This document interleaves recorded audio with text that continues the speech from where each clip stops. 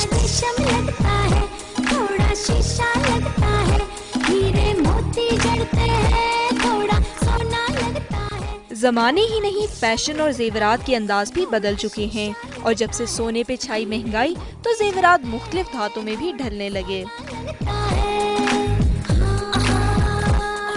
आजकल शीशा मोती और पत्थर भी जेवरात की शान है।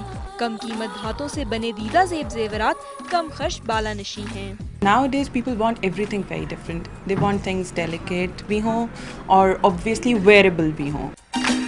सुघड़ खवातीन सोने के बेश कीमत जेवरात के बजाय हल्की फुल्की ज्वेलरी पसंद करती हैं जो जाजबे निगाह दिखने का मकसद मनोन पूरा करती हैं।